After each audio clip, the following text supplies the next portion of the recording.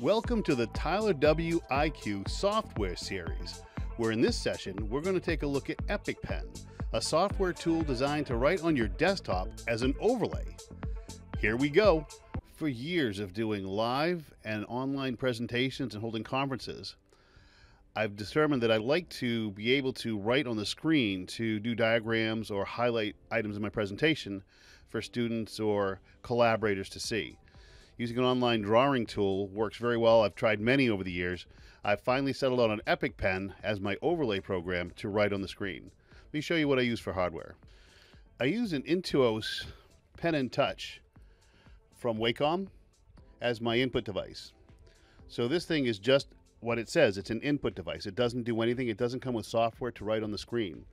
Uh, effectively, it comes with a pen and it's a touchpad, so they call it their pen and touch and it allows me to move the mouse around on the screen to do whatever mouse would do. However, it doesn't draw.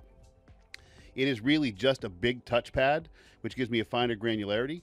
So I could bring up the paint program and actually draw in paint with this because it's my cursor. But that's not what I want. I want to be able to overlay, I want to be able to overwrite an overlay on the whole screen. So if I've got a PowerPoint presentation up, I can write on it or if I'm just trying to do a demo of some sort, I can highlight things. So this is my input device, and what we're going to do is install Epic Pen and use this to draw on the screen. So let's start by finding Epic Pen. In your browser of choice, type Epic Pen. I'm using Chrome here to locate Epic Pen's website. From the site, download. And when you download, you see there's a basic and a pro version. Uh, you can always upgrade later on, download the free version for Windows. If you look at the differences, you got a pen, which is your, your writing implement, an eraser or highlighter. You can screenshot anything that you've written, and you have 16 different colors to pick from in the free version. It's always for free, it's not a trial.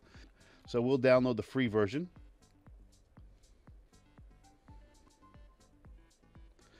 The free version is completely downloaded now, so we'll hit the hit the uh, setup program. I'll minimize my Chrome. And we'll watch the setup occur. Accept the agreement. Choose the defaults. You can change them if you like. I will create a desktop shortcut so it's easy for me to find later and do the install. And Epic Pen is now installed. Let's take a look at how Epic Pen works. Okay, now I can use my touchpad, my pen and touch Intuos board to move my mouse around. I can go over, double click Epic Pen to launch Epic Pen. Again, this is the program that I'm going to use to write on my screen. I can click and hold and drag just like I'm using my mouse, but I'm actually using my pen. And now what can I do? Well, I can draw on my screen. So there's my drawing pencil. Hello, world. And it's actually an overlay program. If I were to capture this, if I were to do an alt print screen, um, and I can actually do a capture here uh, within EpicPen, it will grab the background and the foreground. I can save it to a file, copy to the clipboard. I'm just going to cancel out here. I won't save one. Uh, if I'm done with it, I can erase the whole board.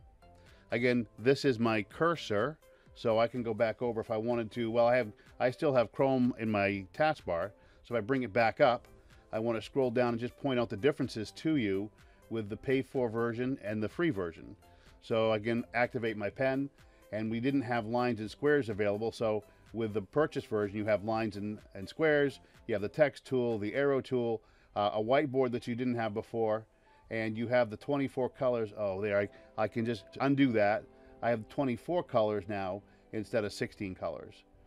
Uh, the overlay, again, anytime you want to do demos of any sort, it just sits there. It does not write in the actual program. So if you move it around, you can see it's just really just that overlay piece. Minimize Chrome again, uh, delete what we have there, and everything is fine. You can also tell when you're looking the new features. There's the line tool. It's got the little pink dot in it. So if I try to activate the line, that wants you to buy it. So it's, it's not available, but that's what's in the actual screen for you. Just like uh, the whiteboard uh, is, uh, is one of the premium pay for components. And when you pick colors, you have just a small set of colors. If you do the purchase, you get a larger set. Do you need them? You don't. You can get by with exactly what you have right here on the screen. Everything that you need.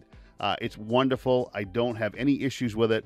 I use it on a regular basis. Love, love Epic Pen. I hope you enjoy it as well.